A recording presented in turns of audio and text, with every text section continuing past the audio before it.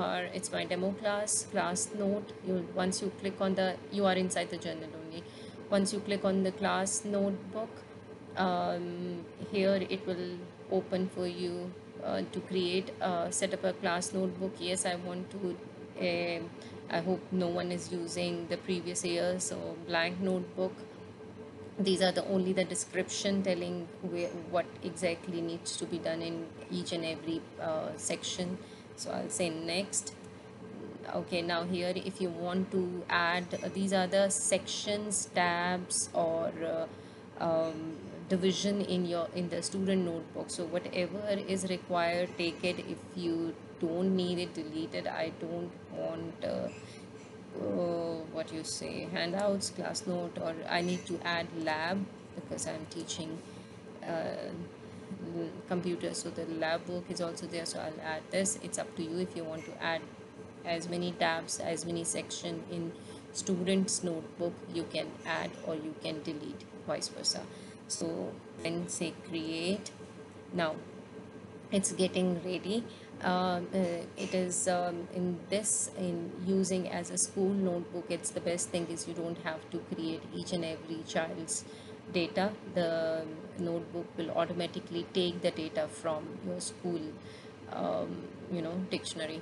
So it's uh, taking a uh, little bit time because it's online and it's uh, creating the note for everyone.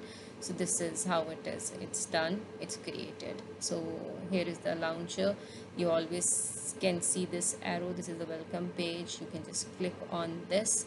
And as you can see uh, this is the collaboration. This is the welcome page uh, this is the collaboration page where you can add uh, uh you know if you want to do student and all the student wants to work together you can place your work here. Uh, content library it's only for the or uh, for the uh, students to see. They can't do any changes in that.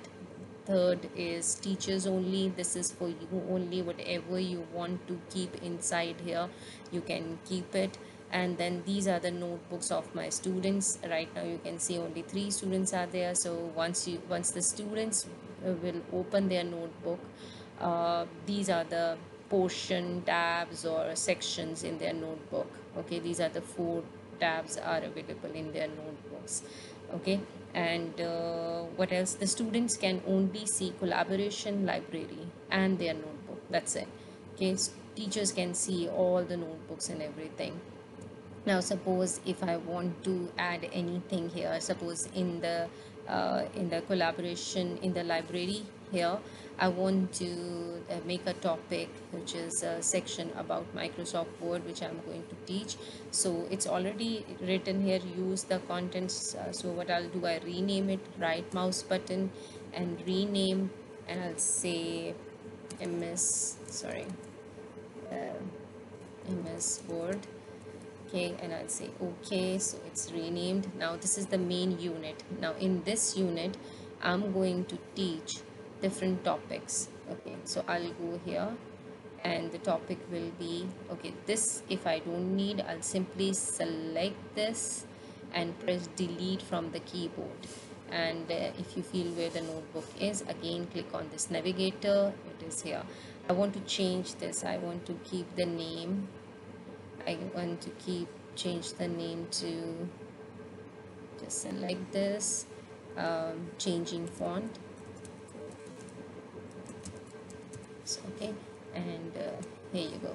So in the content library I have topic Microsoft Word and inside my Microsoft Word the topic is changing font and if as uh, the topic is going to add I keep on adding pages and I keep on um, writing and putting the material in that.